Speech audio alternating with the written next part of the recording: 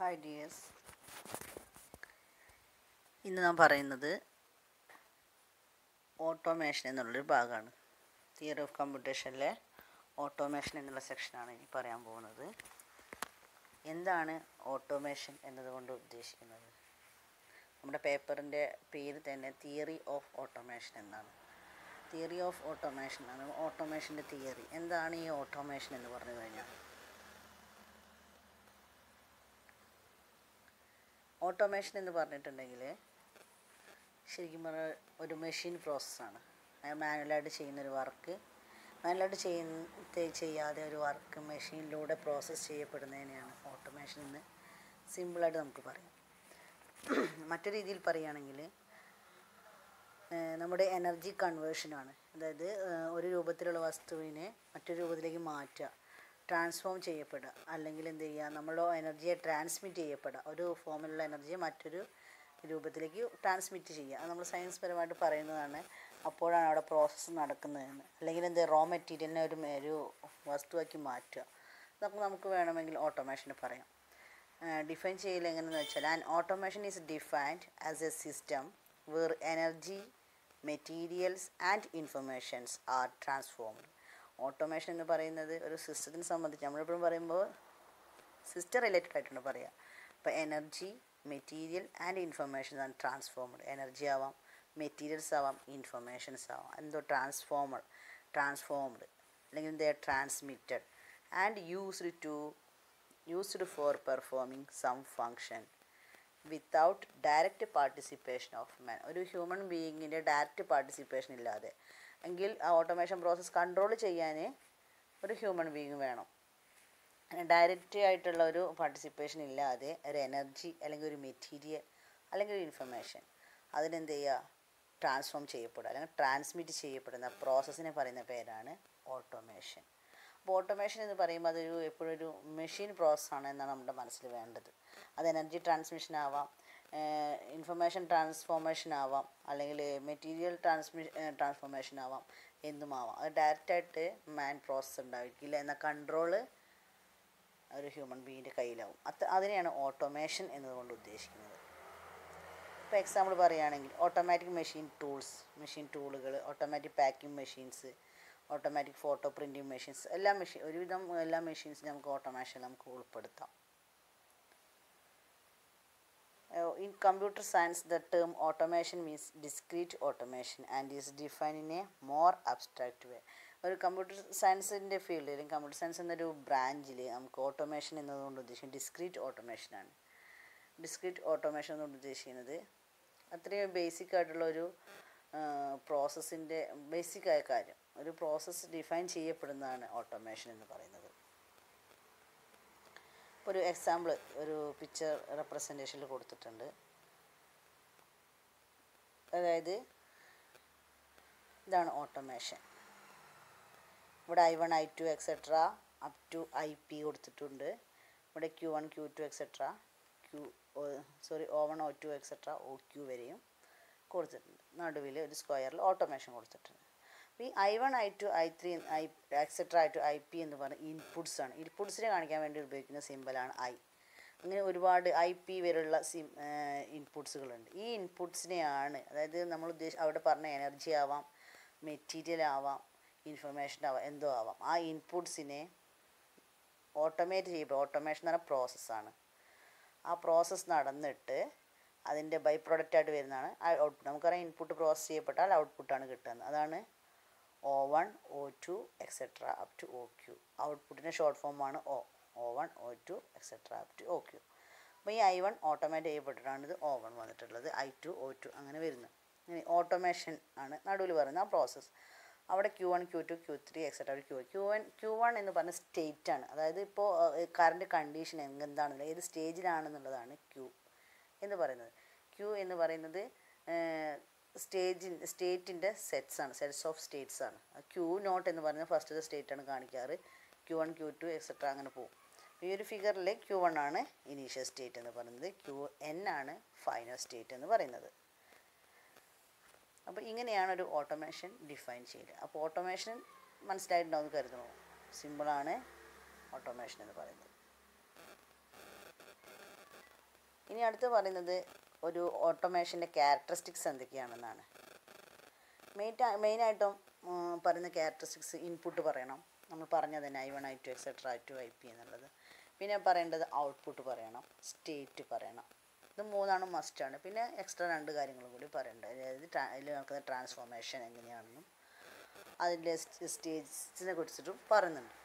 അപ്പോൾ ഫസ്റ്റത്തെ ക്യാരക്ടറിസ്റ്റിക്സ് എന്ന് പറയുന്നത് ഇൻപുട്ടാണ് നമ്മൾ പറഞ്ഞ കാര്യം തന്നെ. ഇൻപുട്ട് എന്ന് പറയുമ്പോൾ അത് ഇൻസ്റ്റന്റ് ഓഫ് ടൈം ആവാം. ടൈം വേരിയന്റ് ആയിട്ട് എടുക്കുക ടൈമാണ് ഇൻപുട്ടായിട്ട് അവിടെ യൂസ് ചെയ്യുന്നുണ്ടെങ്കിൽ നമ്മൾ ഉപയോഗിക്കുന്നത് T one T two etcetera up to T M ആണ് ഉപയോഗിക്കുന്നത്. അതേസമയം സാധാ ഒരു സാധാ ഒരു ഇൻപുട്ട് എന്തെങ്കിലും മെറ്റീരിയൽ എന്തോ ആണെങ്കിൽ അവിടെ I one I two etcetera ആയിട്ട് ഐ പി ആണ് ഉപയോഗിക്കുന്നത്. നമ്മൾ കഴിഞ്ഞ ആ ഒരു ഫോട്ടോയിൽ കണ്ട പോലെ തന്നെ അങ്ങനെയാണ് യൂസ് ചെയ്യാം. അപ്പോൾ at each of discrete instance of time T one T two etcetera to T M the input values i1 i2 etc up to ip each of which can take a finite number of fixed values from the input alphabet sigma.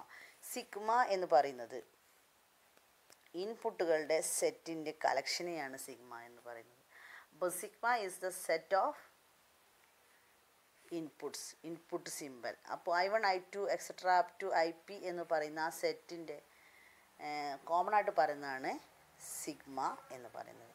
Are applied outside of the model അപ്പോൾ sigma എന്നാണ് നമ്മളെപ്പോഴും ഇൻപുട്ടിന്റെ symbol input ആൽഫബറ്റ്സിനെ denote ചെയ്യാൻ വേണ്ടി use ചെയ്യുന്ന symbol അതാണ് ഫസ്റ്റത്തെ ഇൻപുട്ട് രണ്ടാമത്തെ ഔട്ട്പുട്ട് ഔട്ട്പുട്ട് നമ്മൾ പറഞ്ഞു O one O two etcetera up to O Q are the output of the model each of which can take a finite number of fixed value from an output ഓരോന്നിനും കറക്റ്റായിട്ട് output O one O two etcetera to Q എന്നാണ് ഔട്ട്പുട്ടിനെ കാണിക്കാൻ വേണ്ടി use ചെയ്യുന്നത്. അതിൽ ഓരോന്നിനും അതിന്റേതായിട്ടുള്ള കറക്റ്റ് വാല്യൂ ഉണ്ട്. പിന്നെ മൂന്നാമതായിട്ട് പറയുന്നത് സ്റ്റേറ്റ്സ് ആണ്. സ്റ്റേറ്റ്സ് എന്ന് പറയുന്ന ഓട്ടോമേഷന്റെ അതേ കളിയിൽ വരുന്നതാണ് സ്റ്റേറ്റ് സ്റ്റേറ്റിനെ കാണിക്കാൻ വേണ്ടി ഉപയോഗിക്കുന്നതാണ് Q one Q two etcetera up to Q one at any instant of time be in one of the states Q one Q two etcetera up to Q one അപ്പോൾ input output states പറഞ്ഞു. പിന്നെ അടുത്തായിട്ട് പറയുന്ന നാലാമത് state റിലേഷനാണ് state relation എന്ന് പറയുന്നത് the next state of an automation at any instant of time is determined by the present state and the present input ഈ present ഇൻപുട്ടും അതായത് ഇപ്പോഴത്തെ ഇൻപുട്ടും ഇപ്പോഴത്തെ സ്റ്റേറ്റും ഇപ്പോൾ ഐ വണ്ണും ഐ വൺ ആണ് ഇൻപുട്ട് എങ്കിലും ഐ വൺ ആണ് ഇൻപുട്ട് ക്യു വൺ ആണ് സ്റ്റേറ്റ് എങ്കിൽ അടുത്ത സ്റ്റേറ്റ് എന്താണ് എന്നുള്ളത് നമുക്ക് സ്റ്റേറ്റ് റിലേഷൻ വഴി നമുക്ക് മനസ്സിലാക്കാൻ കഴിയും. നെക്സ്റ്റ് സ്റ്റേറ്റിനെ കുറിച്ചുള്ള ഡിറ്റർമിനേഷനാണ് സ്റ്റേറ്റ് റിലേഷൻ എന്ന് പറഞ്ഞാൽ. പിന്നെ അടുത്ത ലാസ്റ്റ് പറയുന്ന ഔട്ട്പുട്ട് റിലേഷനാണ് ഇൻസ്റ്റന്റ് റിലേഷൻ കഴിഞ്ഞാൽ പിന്നെ അടുത്ത് പറയുന്ന output റിലേഷനാണ് the output is related to either state oh state only or to both the input and the state output എന്ന് പറയുന്നത് രണ്ട് തരത്തിൽ ഡിറ്റർമിൻ ചെയ്യാം. ഔട്ട്പുട്ട് ഒന്ന് ഒന്ന് ചിലപ്പം സ്റ്റേറ്റിനെ മാത്രം ഡിപ്പെൻഡ് ചെയ്തുകൊണ്ട് ഔട്ട്പുട്ട് വരാറുണ്ട്. അത് ചില സമയത്ത് ഇൻപുട്ടും ഔട്ട് സ്റ്റേറ്റും കൂടി കൺസിഡർ ചെയ്തുകൊണ്ട് വരാറ്. അപ്പോൾ ഒന്നുകിൽ ചിലപ്പം സ്റ്റേറ്റിനെ മാത്രം റിലേറ്റ് ചെയ്തിട്ടാവാം ഔട്ട്പുട്ട് അല്ലെങ്കിൽ ഇൻപുട്ടിനെയും സ്റ്റേറ്റിനെയും കൂടി relate ചെയ്തിട്ടാവാം. It should be noted that any അതായത് ഓരോ മെഷീനിലും വ്യത്യസ്തമാണ് നമുക്ക് ഒരുപാട് മെഷീനുകൾ പഠിക്കാണ്. മോർ മെഷീൻ മീലി മെഷീനൊക്കെ പഠിക്കുന്നുണ്ട്. ആ ഈ ആ മെഷീനുകൾ തരംതിരിക്കുന്നത് തന്നെ ഈ ഒരു ഔട്ട്പുട്ട് റിലേഷന്റെ വ്യത്യാസത്തിലാണ്.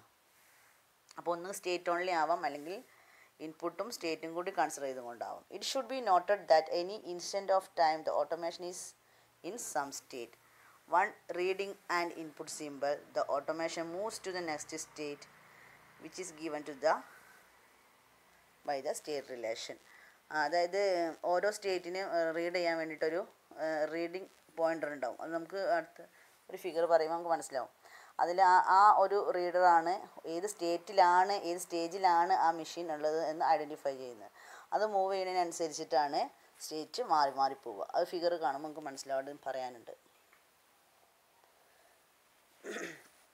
അങ്ങനെ അഞ്ച് സ്റ്റേജുകളാണ് ഉള്ളത്. മെയിനായിട്ടുള്ള അഞ്ച് പോയിന്റുകൾ അപ്പോൾ ഓട്ടോമേഷൻ എന്ന് പറയുമ്പോൾ മെയിനായിട്ട് പറയുമ്പോൾ രണ്ട് തരത്തിലാണ്. ഡിറ്റർമിനിസ്റ്റിക് ഓട്ടോമേഷനും ഉണ്ട് നോൺ ഡിറ്റർമിനിസ്റ്റിക് ഓട്ടോമേഷനും ഉണ്ട് അതായത് നമുക്ക് പറയാനുള്ള D F A N F A വരും ഡിറ്റർമിനിസ്റ്റിക് ഓട്ടോമേഷനും ഡിറ്റർമിനിസ്റ്റിക് ഫൈനൈറ്റ് ഓട്ടോമേഷനും non deterministic finite ഓട്ടോമേഷനും D F A N F A അതുപോലെ ഡി എഫ് എയെ കുറിച്ചിട്ടാണ് ഇപ്പോൾ പറയുന്നത്. ഡി എഫ് എ എന്ന് പറയുമ്പോൾ അതിനെ നമുക്ക് ഡിറ്റർമിനിസ്റ്റിക് ഫൈനൈറ്റ് ഓട്ടോമേഷനും പറയാം. ഫൈനൈറ്റ് ഓട്ടോമേഷൻ എന്ന് പറയാം. എങ്ങനെ പറഞ്ഞാലും അത് ഒന്ന് തന്നെയാണ് എഫ് എ എന്ന് പറയണം ഡി എഫ് എ എന്ന് പറഞ്ഞാലും സെയിം ആണ്. An automation in which the output depends only on the input is called an automation without memory.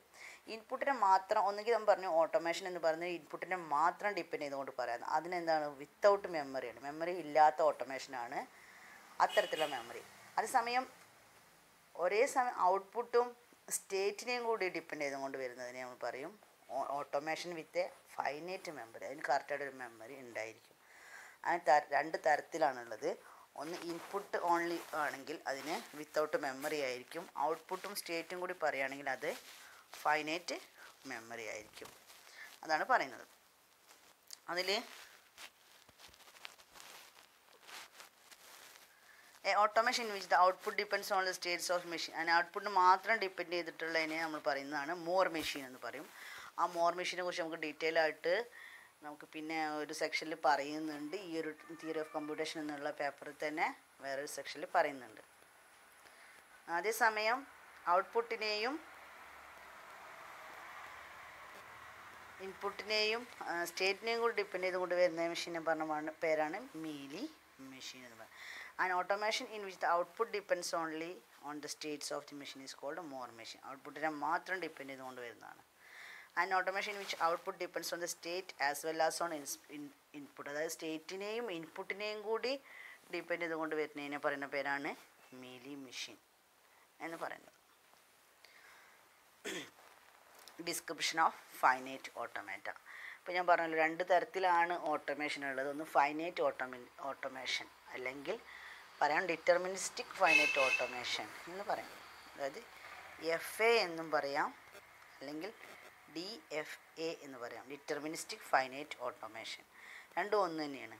പിന്നെ ഒന്നുള്ളത് എൻ എഫ് എ ആണ്. Non deterministic finite automation N F A അപ്പോൾ അതിൽ ആദ്യം പറയുന്നത് എഫ് എ അല്ലെങ്കിൽ ഡി എഫ് എ ആണ്. അതിനെക്കുറിച്ചിട്ടാണ് ഇപ്പോൾ പറയുന്നത്. ഡിസ്ക്രിപ്ഷൻ ഓഫ് ഫൈനൈറ്റ് ഓട്ടോമേഷൻ അല്ലെങ്കിൽ finite automata analytically a finite automation can be represented by five tuple ഒരു സാധാ ഒരു ഫൈനൈറ്റ് ഓട്ടോമേഷനിൽ അഞ്ച് ടപ്പിൾസ് ആണുള്ളത്.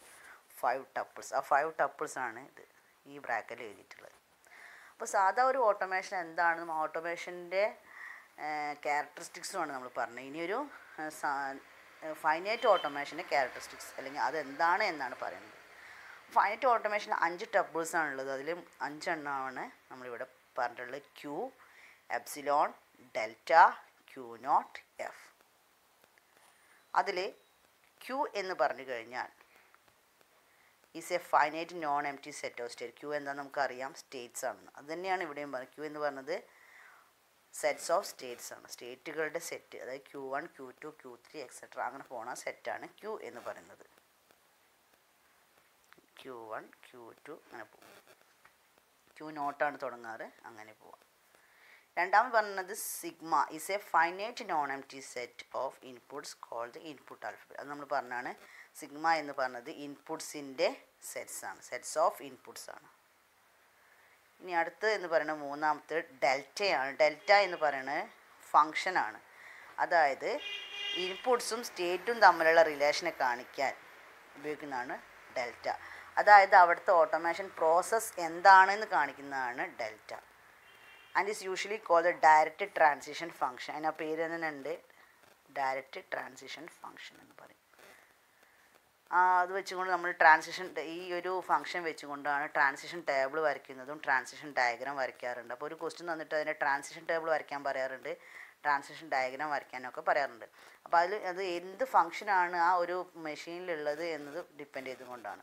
അപ്പോൾ ഡെൽറ്റ എന്ന് പറഞ്ഞിട്ടുണ്ടെങ്കിൽ നമ്മൾ എപ്പോഴും ക്യൂ ഇന്റു എപ്സിലോൺ ആണ് ഡെൽറ്റ ഡെൽറ്റ എന്ന് പറഞ്ഞാൽ ഫങ്ഷനാണ് Q Q cross sigma into Q അതാണ് ഫങ്ഷൻ ക്യൂ ക്യൂവും സിഗ്മ സ്റ്റേറ്റും ഇൻപുട്സും തമ്മിലുള്ള റിലേഷനാണ് ടെൻസ് ടു സ്റ്റേറ്റ്സ് അതിന് യൂഷ്വലി അതിന് പറഞ്ഞ പേരാണ് direct transition function this is the function which describe change of states during the trans അതായത് പ്രോസസ്സ് നടക്കൊണ്ടിരിക്കുമ്പോൾ സ്റ്റേറ്റിൽ വരുന്ന ചേഞ്ചിനെയാണ് ഈ ഡയഗ്രാം കാണിക്കുന്നത്. ഇപ്പോൾ ഉള്ളത് ഫോം അതുപോലെ അടുത്ത ഫോം അത് ആ ചേഞ്ചാണ് കാണിക്കുന്നത്. This mapping is usually represented by a trans അത് നമ്മൾ ആ ഒരു മാപ്പിംഗ് കാണിക്കാൻ വേണ്ടി ഉപയോഗിക്കുന്നതാണ് ട്രാൻസിഷൻ ടേബിളും ട്രാൻസിഷൻ ഡയഗ്രവും ട്രാൻസിഷൻ ചേഞ്ച് കാണിക്കാൻ യൂസ് ചെയ്യുന്ന രണ്ട് കാര്യങ്ങളാണ്. ട്രാൻസിഷൻ ടേബിൾ എന്ന് പറയുക അല്ലെങ്കിൽ ഡയഗ്രാം ഓർ എന്ന് പറഞ്ഞാലും രണ്ടും രണ്ടാണ്. ടേബിൾ എന്ന് പറഞ്ഞാൽ ടേബിൾ ഫോർമാറ്റിലും ഡയഗ്രാം എന്ന് പറയുമ്പോൾ ഡയഗ്രാമാറ്റിക് ഫോർമാറ്റിലാണ് വരയ്ക്കുക. പിന്നെ അടുത്തുന്നത് നാലാമതായി പറയുന്നത് Q naught belongs to Q ആണ്. ക്യൂ നോട്ട് എന്ന് പറയുന്നത് ഇനീഷ്യൽ സ്റ്റേറ്റ് ആണ്. അതായത് ക്യൂ നോട്ട് എന്ന് പറയുന്നത് എപ്പോഴും ആദ്യത്തെ സ്റ്റേറ്റ് ആയിരിക്കും. ക്യൂ എന്ന് പറയുന്നത് സെറ്റ്സ് ഓഫ് സ്റ്റേറ്റ്സ് ആണ്. അതിൽ ആദ്യത്തെ സ്റ്റേറ്റ് എന്ന് പറയുന്നത് ക്യൂ നോട്ട് ആയിരിക്കും. അത് ക്യൂവിലെ മെമ്പർ ആയിരിക്കും. ആണ് Q naught belongs to Q എന്ന് പറയുന്നത്. പിന്നെ അപ്പോൾ ക്യൂ നോട്ടും അപ്പോൾ ആദ്യം പറയുന്നത് ഇൻപുട്ട് ഔട്ട്പുട്ട് സ്റ്റേറ്റ് അതായത് ക്യൂ പറഞ്ഞു സെറ്റ്സ് ഓഫ് സ്റ്റേറ്റ്സ് സിഗ്മ പറഞ്ഞു സെറ്റ്സ് ഓഫ് ഇൻപുട്സ് എഫ് പറഞ്ഞു ഡെൽറ്റ പറഞ്ഞു ട്രാൻസിഷൻ ഫംഗ്ഷൻ പിന്നെ ക്യൂ നോട്ടും എഫ് ആണ് പറയുന്നത് ക്യൂ നോട്ട് എന്ന് പറഞ്ഞാൽ ഇനീഷ്യൽ സ്റ്റേറ്റ് ആണ്. എഫ് എന്ന് പറഞ്ഞാൽ ഫൈനൽ സ്റ്റേറ്റ് ആണ്. എഫ് എന്ന് പറഞ്ഞാൽ അവസാനമായിട്ടുള്ള പ്രോസസ്സിലെ സ്റ്റേറ്റ് സ്റ്റേറ്റ് സ്റ്റേറ്റ് ആണ്. എഫ് എന്ന് പറഞ്ഞാൽ അതും ക്യൂവിലെ മെമ്പർ ആയിരിക്കും. ഈക്വൽ ടു പറയാൻ കാരണം ലാസ്റ്റ് സ്റ്റേറ്റ് ആയതുകൊണ്ടാണ് ഈക്വൽ ടു പറയുന്നത്. പിന്നെ ഒരു ഫൈനറ്റ് ഓട്ടോമേഷന്റെ ബ്ലോക്ക് ഡയഗ്രം എങ്ങനെ വരയ്ക്കാം നമുക്ക് നോക്കാം. ഇങ്ങനെയാണ് ഒരു ഫൈനറ്റ് ഡിറ്റർമിനിസ്റ്റിക് ഫൈനറ്റ് ഓട്ടോമേഷന്റെ ഓട്ടോമേഷന്റെ ചിത്രം ഇങ്ങനെയാണ് വരയ്ക്കുക. അതിൽ മൂന്ന് മൂന്ന് ടേംസ് ആണ് മെയിനായിട്ടുള്ളത് ഒന്ന് ഇൻപുട്ട് ടാപ്പ് ഒന്ന് റീഡിങ് ഹെഡ് ഒന്ന് ഫൈനറ്റ് കൺട്രോൾ ഈ മൂന്ന് കാര്യങ്ങളാണ് അതിൽ പറയാനുള്ളത്. എന്താണ് ഇൻപുട്ട് ടാപ്പ് ഇൻപുട്ട് ടാപ്പ് പറഞ്ഞിട്ടുണ്ടെങ്കിൽ നിങ്ങൾക്ക് അറിയാൻ പറ്റും നിറയെ സ്ക്വയേഴ്സ് ഉള്ളതാണ് അല്ലേ? അങ്ങനെ ഓരോരോ സ്ക്വയറായിട്ട് ഇങ്ങനെ പോകുന്നതാണ്. അതിൽ ഫസ്റ്റത്തെ സി സി അല്ലെങ്കിൽ നമ്മൾ കൊടുക്കും ഇങ്ങനെ സി ക്രോസ് കൊടുക്കാണ്ട്. അതായത് സ്റ്റാർട്ട് മാർക്കറും എൻ മാർക്കറിന് എസ് അല്ലെങ്കിൽ എസ് ക്രോസ് കൊടുക്കും. ഇങ്ങനെയാണ് കൊടുക്കാറ്. അതിൽ ചിലതിൽ ഇത് എസ് ക്രോ എസ് ഉണ്ടാവില്ല. അതിന്റെ അർത്ഥം ഇത് ഫൈനൈറ്റ് ആണ്. അത് നീണ്ടു പോകുന്ന ഒരു അവസാനം ഇല്ലാതെ പോകുന്ന ഒരു ഇൻപുട്ട് ആണെങ്കിലാണ് അങ്ങനെ കാണിക്കാറ്. പിന്നെ റീഡിങ് ഹെഡ് എന്ന് പറഞ്ഞിട്ടുണ്ടെങ്കിൽ ഇപ്പോൾ ഏത് സ്റ്റേജിലാണ് ഈ പ്രോസസ്സ് നടക്കുന്നത് എന്നുള്ളത്. ഈ സെല്ലിലാണ് പ്രോസസ്സ് നടക്കുന്നത് മനസ്സിലാക്കാനാണ് reading head reading head move ചെയ്യുന്നതിനനുസരിച്ച് ഇങ്ങോട്ടാണ് അതായത് റീഡിങ് ഹെഡാണ് തീരുമാനിക്കുക അങ്ങോട്ടാണോ ഇങ്ങോട്ടാണോ പോകേണ്ടത് എന്നുള്ളത്. അപ്പോൾ മൂവ് ചെയ്യുന്നതിനനുസരിച്ചിട്ട് സ്റ്റേജ് മാറിക്കൊണ്ടേയിരിക്കും. ഈ ഫൈനൈറ്റ് കൺട്രോൾ എന്ന് പറയുന്ന ഇതാണ് ഈ ഒരു പ്രോസസ്സ് കൺട്രോൾ ചെയ്ത്. ഇങ്ങനെ മെയിനായിട്ട് മൂന്ന് ഭാഗങ്ങളാണ് ഉള്ളത്. അപ്പോൾ input tape reading head finite control അപ്പോൾ എന്താണ് ഇൻപുട്ട് ടാപ്പ് പറഞ്ഞതിന്. The input tape is divide into square സ്ക്വയറുകളായിട്ട് കള്ളി കള്ളിയായിട്ട് കണ്ടില്ല? അതാണ് സ്ക്വയർ ആയി പറയുന്നത്. Each square containing a single simple from input alpha ഇൻപുട്ടിലെ ഏതെങ്കിലും ഒരു മെമ്പറാണ് ഒരു കള്ളിയിൽ എഴുതുക. അങ്ങനെ നിരനിരയായിട്ട് എഴുതി അവസാനത്തതിൽ അവസാനത്തത് എഴുതും. അത് ഇൻഫിനിറ്റി ആണെങ്കിൽ പോയിക്കൊണ്ടേയിരിക്കും. The end square of the tab contain end markers key at the left രണ്ട് എൻഡിൽ ലെഫ്റ്റ് സൈഡിലെ എൻഡിൽ സി എന്നും അല്ലെങ്കിൽ സി ക്രോസ് എന്നും എഴുതും. റൈറ്റ് റൈറ്റ് എൻഡിൽ എസ് അല്ലെങ്കിൽ എസ് ക്രോസ് എഴുതും രണ്ടെണ്ണമാണ് എഴുതൽ ഈ ഈ എത്ര കള്ളിയാണ് ഒഴിഞ്ഞു കിടക്കുന്നത്? ആ ഒരു അതായത് ഈ ഈ ഒരു കളിയിൽ ഇതിൽ എത്ര ആബ്സെന്റ് ആണോ ആ മൊത്തം നോക്കിയിട്ടാണ് ഈ ഒരു ഇതിന്റെ പ്രോസസ്സിന്റെ ലെങ്ത്ത് മനസ്സിലാക്കൽ അതാണ് പറയുന്നത്. The absence of end mark indicates the tape is of infinite length the left to right sequence of simple between the two end marks is is the input simple to be processed രണ്ടാമത്തെ reading head പറഞ്ഞത് the head examines only one square at ഒരു സമയത്ത് ഒരു ഹെഡേ read ചെയ്യുള്ളൂ. ആ one square ചെയ്തിട്ട് അത് left ആവാം റൈറ്റ് ആവാം. അത് എപ്പോഴും മൂവ് ചെയ്യൽ റൈറ്റ് സൈഡിലേക്കാണ് കോമൺ ആയിട്ടും അത് മൂവ്മെന്റ് ഉണ്ടാവാറ്. പിന്നെ ഫൈനൽ കാണാം input to the final final control എന്ന് പറഞ്ഞു കഴിഞ്ഞിട്ടുണ്ടെങ്കിൽ ലാസ്റ്റത്തെ ആ ഒരു അതായത് പോയിന്റർ ഉണ്ടല്ലോ. പോയിന്ററിന്റെ റീഡിംഗ് ഹെഡിന്റെ താഴെ വരുന്ന ഭാഗമാണ് ഫൈനറ്റ് കൺട്രോൾ എന്ന് പറയുന്നത്. The input to be finite control will usually be the simple under the R right head എന്നുള്ളതിന്റെ സോറി റീഡിങ് ഹെഡ് എന്നുള്ളതിന്റെ ഷോർട്ട് ഫോമാണ് ആർ ഹെഡ് എന്ന് പറയുന്നത്. റീഡിങ് ഹെഡിനെ കൺട്രോൾ ചെയ്യുന്നത് ഫൈനറ്റ് കൺട്രോളാണ് അതിന്റെ മൂവ്മെന്റ് റെഗുലേറ്റ് ചെയ്യുന്നത്. The present state of the machine സെക്യൂ ഏത് സ്റ്റേറ്റിലാണോ അപ്പോൾ നിൽക്കുന്നത്? അത് ആ സ്റ്റേറ്റാണ്. അപ്പോൾ അതിന്റെ